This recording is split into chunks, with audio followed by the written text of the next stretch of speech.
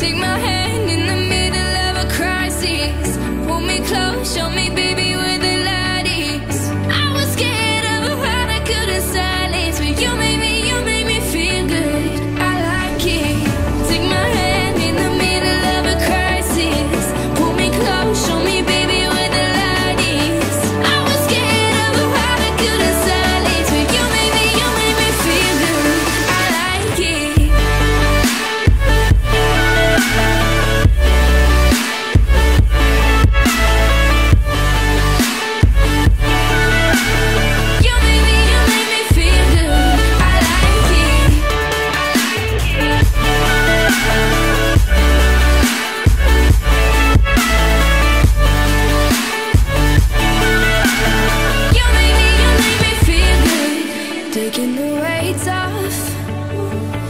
deal with the pressure, and now it's you stressing.